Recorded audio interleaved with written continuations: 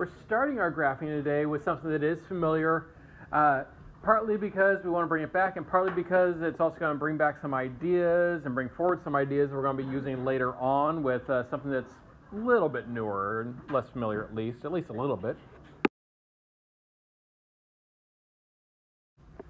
Now, in making this graph, of course, uh, this should be familiar because you can see here that we are uh, going to be shifting it to the right 3, and then we're going to be going down 1. And so you're going to put your first point there, right 3 and down 1.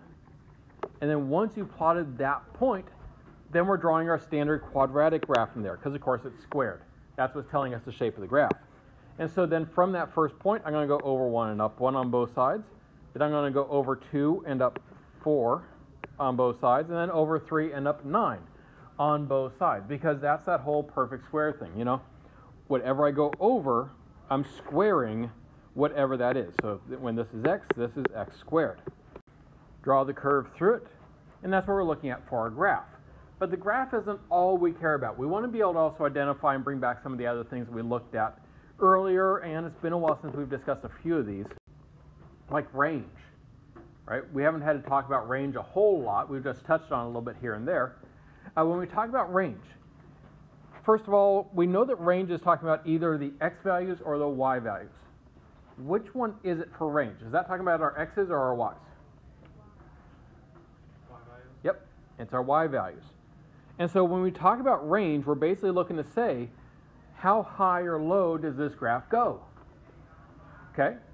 So in this particular example, you notice that it only goes down so far. It only goes down to negative 1. And so for our range, we're going to say that y must be greater than or equal to negative 1. All right, then, is it a function? We haven't had a talk in a little while about something, whether something is or is not a function, so let's remind ourselves on that one. So is this graph an example of a function?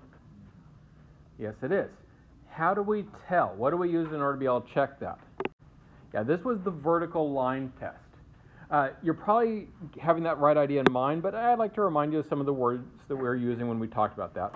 The vertical line test basically says that if I draw a vertical line through the graph anywhere, I should never hit it in more than one place. And so this passes the vertical line test, and therefore, yes, it is a function. Okay, one more question dealing with this one. What's the domain? Now, we haven't actually talked a lot about domain. We touched on it a little bit, but not as much as range. Because domain, well, it is talking about the x values. And if you are a little bit rusty on what domain actually is, you might want to take a moment and write that down, like as part of your notes there, that domain is talking about the, the x values, technically the inputs. And so since domain is talking about the possible x values, we go over here and we again look to see, okay, what x values does this particular graph include? And when we do that, uh, it might look at first like it's only going to be including the x values like from here up to here. And so you might be thinking, okay, well, it's just going to be these x's. But of course, the graph doesn't actually end there, right? That's just where the edges of our graphing grid are. If I was actually going to start trying to shade where it was, well, you know, it goes over here, yes, but it keeps going to the left, right? So really, it keeps going left, keeps going left. There's always graph over here. So I know there's continuing to be graph over to the left. And the same kind of thing happens over to the right. So as I keep going to the right, even though the graph is off the grid, we know that it's still going there. We just can't see it because it's off our particular graphing grid. What do we say for the domain in that kind of situation? Yep, all real numbers. And the reason why we haven't talked about domain as much to this point is because basically everything that we've been working with has had a domain of all real numbers, except for one graph that we've touched on a little bit, but we haven't really delved into the domain as much. Well, today we're just making sure that we nail down a few little details about that particular graph. So, you see we got a new equation up here. Now we're going to be taking a look at y equals the square root of x minus 3 minus 1. It's purposefully similar to the one you just did, but go ahead and write down this equation. Now graph this on your second graphing grid.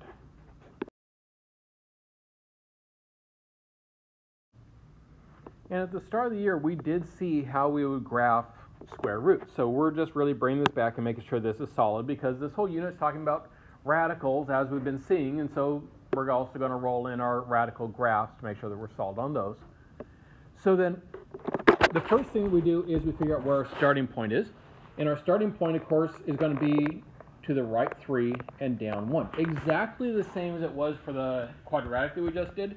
We have the same numbers in the same places, so the starting point is the same. What's different about this one is that it's a square root instead of it being squared, which of course changes the shape of the graph. So instead of whatever I go over squaring that, whatever we go over instead, we're actually going to do the square root of that. All right, so when I go over 1, I'm going to go up the square root of 1, which yes, we can do, right? Square root of 1 is 1. But then this is that one where we don't go over 2 next, because the square root of 2 is a big decimal. So how far am I going to go over next instead? 4. And so we're going to go over 4, and the square root of 4 is 2, so it's over 4 and up 2.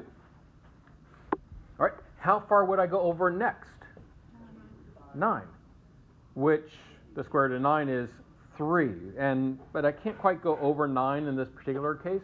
Uh, it's off my graphing grid. If it fits on yours, go ahead and plot it. But then since we're off the graphing grid, we can go ahead and draw our curve that goes through it. And again, let's dig into those little details again about uh, range, domain, and function. So what is the range of this particular equation? So we can see here that our graph starts down here at negative 1, and then it's going to be going up from there. So then our range, yes, it's going to be y, and it's going to be starting at negative 1. And notice that since it's going up, that means it's going to be greater than or equal to negative 1. Yes, it is or equal to because it actually does include that point right there at 0. All right, next up, what is the domain? Give you a hint, it is not our real numbers here. So what are we going to say for our domain? It's a description of the x values, right? Yes, and that's exactly right. It's going to be that x is greater than or equal to 3. Now, why is that? Well, if we take a look here at the graph, you know, I can be shading over here saying, yes, there's x values, yes, there's x values, but I can't keep shading, right? At a certain point, there's no more x values. And so then it's saying that the graph exists over at those x values, but it does not exist to the left of it. That's all the domain is getting at there. All right. And then is this an example of a function? Well, does it pass that vertical line test? Yes, it does. And therefore, yes, it is a function. And just to make things short and sweet here, every square root equation will be a function like this then. All of them that we're working with. You can make them into things that are not functions, but as they are that we're dealing with them here, those are functions. All right.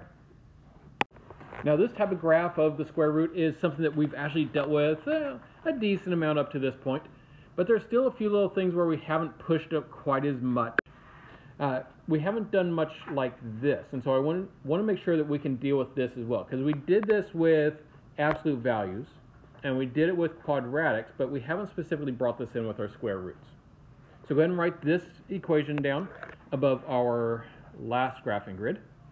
And then go ahead and sketch out that graph. See if you know what to do with it. It does follow the same rules, so hopefully you do. All right, now the negative 3. Is that negative 3 moving our graph? Like, is it moving where we start? No. And this is one of the big things I really want to make sure to highlight out of this, is that that negative 3 there, that's negative 3 times the square root. It's not subtracting 3, which therefore means that it's going to be more of a stretch, not a shift. And so my first point then, it's still going to be at 0, 0. Okay. Having plotted that though, our next point will not be over 1 and up 1 as it normally would be. But because I know the next point normally is over 1 up 1, it tells me how to get to the next one. Because the negative 3 is a vertical stretch by a factor of 3 and a reflection. Because the negative is the reflection part and the 3 is the stretch part. So uh, we are instead of going to be going over 1 and up 1, we will go over 1 and down 3 in order to get to our next point. So I'm just taking basically my up 1 and multiplying it by the negative 3. All right, so in order to get to your next point, you have to start by thinking about what would you normally do. Do we normally go over 2? And no, we don't. We don't normally go over 2, we normally go over 4. Because remember, this is square root. If I was just plotting the normal graph, I'd go over 1 up 1, then I'd go over 4 and up 2. This is where this one can get tricky because we got to remember that at the same time. So instead of over 4 and up 2, what are we going to do instead in this case? Well, I still go over the same amount, but instead of up 2, where, what are we going to do? Yep, down 6. So we go over 4, down 6. All right, the next point. Let's see if it actually fits on there. Uh, how far over do I normally go next? Yep, 9. And so I'm going to go over 9. And normally when I go over 9, I go up 3. But of course, I'm not going to go up 3 in this case. What am I going to do instead? Down 9. Because I'm taking the normal 3 that I would go up, and I'm going to do that 3 times the negative 3 from the equation there. And that does give me a negative 9. So it tells me to go down 9. So we go over 3 and down 9. And yes, that is all of them that we're going to be able to fit on this particular graphing grid. So we can go ahead and draw the curve that goes through them. All right, so with that in mind, uh, what is our domain going to be now that we can actually see the graph? Yep. It's going to be that x is greater than or equal to 0. And a couple of you got thrown off because I asked the domain first, whereas the last couple times I asked the range first. Always got to pay attention to the wording, right? Now it actually is more typical that the domain will come first instead of range. So this is actually the usual order that you might see them in, in case you're keeping track of that sort of thing. All right, so if the domain is x is greater than or equal to 0 because it starts over here at 0 and then is going to the right there, we now go to our range. Notice our y values start at 0, but this time they go down from 0. And so your range then will be that y is less than or equal to 0. All right, so that takes care of the graphing portion here. Uh, but we're continuing to look at some of the other exponent rules and radicals that we've been looking at recently. And so I'd now like you to practice what we were looking at the end of last week by simplifying this particular expression. And yes, you can do this on the graph paper or the line paper as you wish. Now, the most important thing in being able to deal with this particular one is knowing how to deal with the negative exponent. What does a negative exponent again do in an expression like this? Yeah, the negative exponent always flips it. Like basically flips it within a fraction. So like uh, there's a couple ways that you might have dealt with this one and done it. One way is that you might have started by rewriting the whole thing as 5x cubed over x to the ninth. And that would be good because x to the negative 9 means that you have x to the positive 9 in your denominator and then you could go ahead and you could simplify from there. Or you might have instead just started by adding your exponents, which in this case means doing 3 minus 9. And so then that would give me x to the negative 6. Either way, though, you're going to end up with the same exact answer, which is 5 over x to the 6th power. And you can use whichever method you want in order to be able to get there the biggest thing that I really want to bring back to your mind is just that reminder that the negative exponent is going to be flipping it in the fraction. All right, now back to our radicals here. Uh, we're going to be simplifying these radical expressions. This is something we also looked at last week, making sure that we remember the idea behind this, and then we're going to be seeing where we can take this in the next couple days, even beyond where we have so far. And as you may recall, these are the types where uh, there's a couple different ways you could do it, but uh, a very common and efficient way is to start by turning it into a fraction and then turning that fraction into a mixed number. Because then that tells us how many wholes we can pull out of it which in this case is 7, and what fraction is left over, 1 half. And of course, the fractional exponent, that's a radical. And so I'd change that x to the 1 half back into square root of x. And so then this would be our final answer for the first one. And a good method for getting there, again, not the only method, like if you wanted to, you could write out 15 x's and then start circling pairs, but it's still going to get you to the same spot.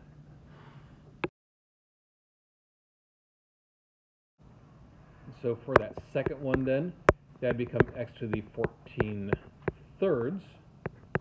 And 14 thirds, 3 goes into 14 four times with 2 left over. Which means then it's going to be x to the fourth, because that's the whole number. And I change the 2 thirds back into a radical. That is going to be the cube root of x squared.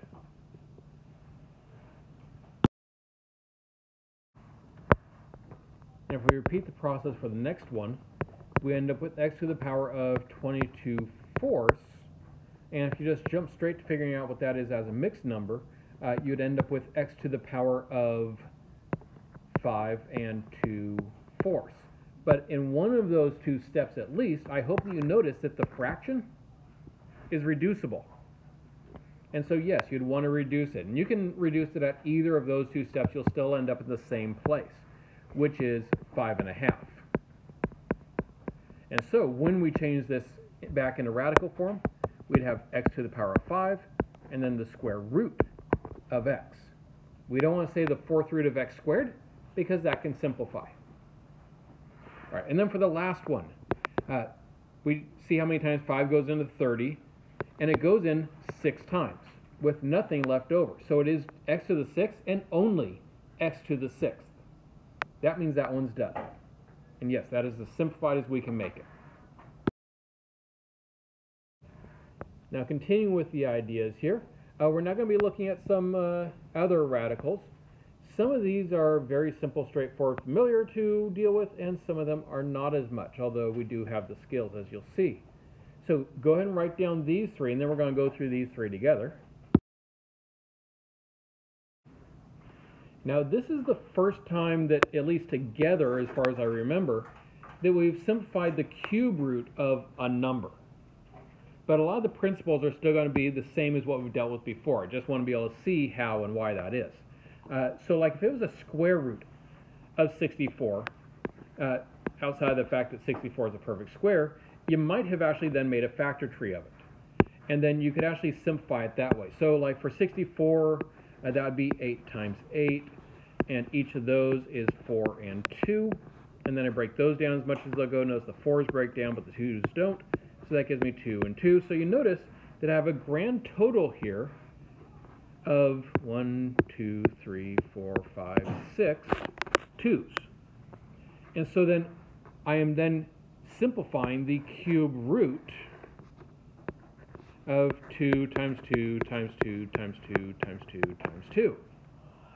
Now, if this was a square root, I'd circle the pairs. What am I going to do instead?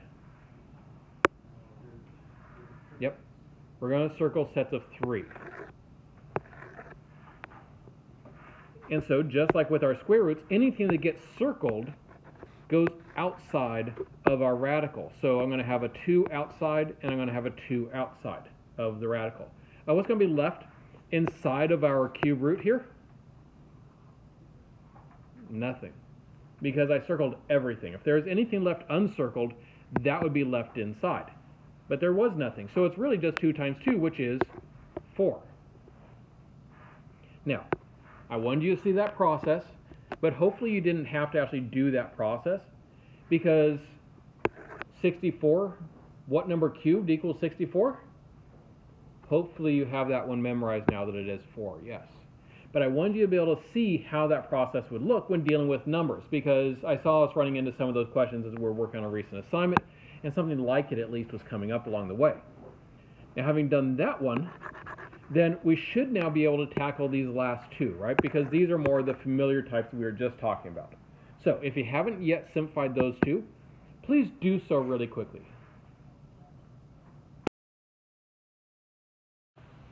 right? So for the middle one there, the cube root of x to the 15th, uh, that'd be 15 thirds, which is just 5.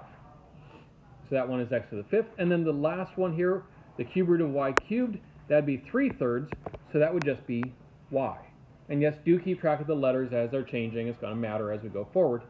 Keep track of this problem. I'm going to bring this particular problem and a couple others back tomorrow as we do a little bit more advanced work with these. Along that same line of thinking though, let's take a look at this one. You should be able to now simplify each of these four radicals using all the same techniques that we've been talking about. So, please do so. So then these are the answers you should get from working that one through. And all these using all the same techniques that we've been talking about.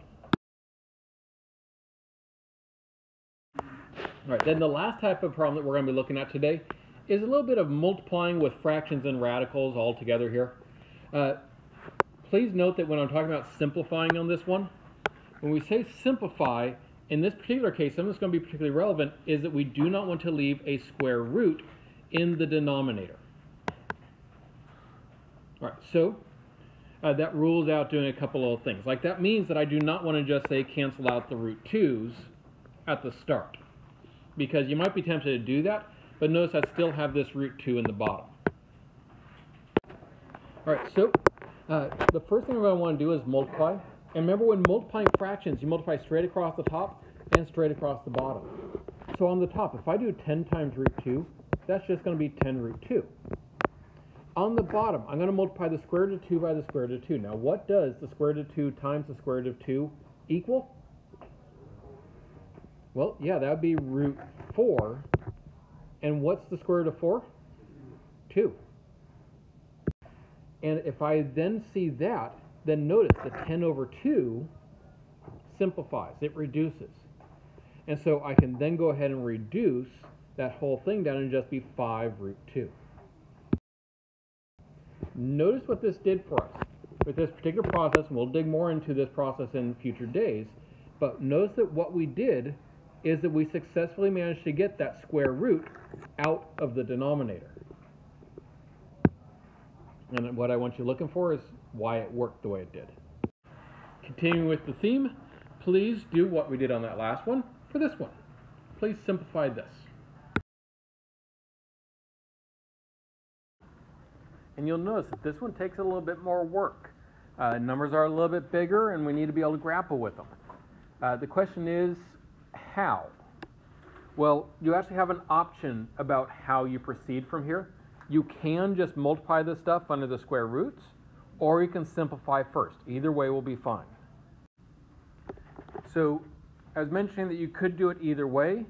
Your work would have probably looked like one of those two just depending on which way you chose to do it. Now, you don't have to do it both ways, obviously, but just covering for whichever way you chose to do it. So the way on the left, I'm just multiplying the stuff that is under the square roots together, because as long as they're both under the same radical, we can do that. So like I multiplied the 9x to the 8 by 72 to get that. And then I multiplied the 72 by 72 to get that. Or you can go ahead and simplify the radicals first, which is what you see happening over here on the right side, where I simplified 9x to the 8th into be 3x to the 4th, and then the square root of 72 is 6 root 2. But whichever way you do it, you still have another step. Uh, in the case of this first one where we multiplied first, we now are just simplifying the radicals. As you can see, the disadvantage there is that the numbers inside your radicals are a little bit bigger to deal with. On the plus side, you already know at least one combination of numbers that gave you that, 9 and 72, when it comes down to breaking them down a little bit. This side, uh, the numbers are a little bit smaller and easier to work with, but it can potentially throw you off in terms of what that really looks like and how that works. So it's all a matter of which way you feel most comfortable. Now, a little note here on the right side in particular, if I'm going to do, for instance, something like 6 root 2 times 6 root 2, how do I actually do that? Well, when I do that, basically what I'm going to do is I'm going to do 6 times 6, and then I'm going to do root 2 times root 2 in order to be able to do that part. And so then this is how those would actually finish out from there. So you notice that when I did 6 root 2 times 6 root 2, that gave me 36, because that's the 6 times 6, times 2, which is the root 2 times root 2. And then you notice I just simplified that into be a 72 there. All right, and then over here, we went ahead and we simplified each of those radicals. And we're able to simplify those down. But then at this point, it looks like we do have one last step that we can make. Because you notice the 18 over 72 reduces. And so we're going to reduce that. What can I divide both 18 and 72 by? Let's see here. It looks like 2, yeah, 4, 6, 8. Quite a few of them, actually. In fact, if we keep going down, you might have ended up doing this in a couple stages. The biggest one was 18 you actually can divide both of them by 18. And so then, the 18 divided by 18 on the top goes to 1. So the top is now x to the fourth root 2. And the bottom, 72 divided by 18, is 4. And so then that is the final answer for that problem. This is then the last problem that we're going to take a look at. And it's actually easier than that last one. It's just a matter of seeing how we can apply all the same ideas and how we deal with the square root with the fraction on the inside. All right, now the first thing that I notice as I look at this is that it looks a little different than some of the problems that I've been looking at before. Because before, uh, we had a fraction on the top and a fraction on the bottom. Both of those, uh, or not a fraction, a radical on the top and a radical on the bottom and so the radical was separated. And we knew what to do with it then, because we saw how to deal with it. We can actually do the same thing here, because the square root of a fraction is the square root of the top over the square root of the bottom. So yes, we can actually go ahead and do that. Now having done that, it's now a matter of actually doing the multiplication and simplifying from there. So please go ahead and do so. Please finish this one off from this point now. So when I multiply across the top, I end up with the square root of 16. And the square root of 16, of course, is 4. And then the root 2 times the root 2 on the bottom is just 2. So notice, whenever I'm multiplying a square root by itself, I'm squaring it, which means the square root goes away and I'm just left with whatever number was on the inside. All right, so now that I have the 4x cubed over 2, notice that does reduce a little bit, I can simplify my fraction. So the final answer is just 2x cubed.